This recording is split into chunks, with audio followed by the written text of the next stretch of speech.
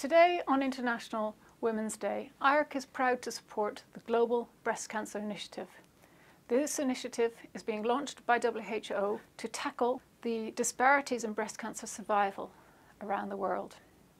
Breast cancer is the most commonly diagnosed cancer. The Global Breast Cancer Initiative will lay out a roadmap to improve survival.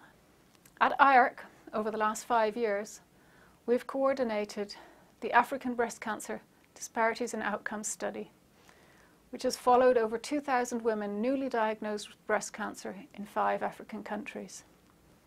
We've examined factors that are limiting improved survival, both in the journey to diagnosis and during the treatment period and thereafter.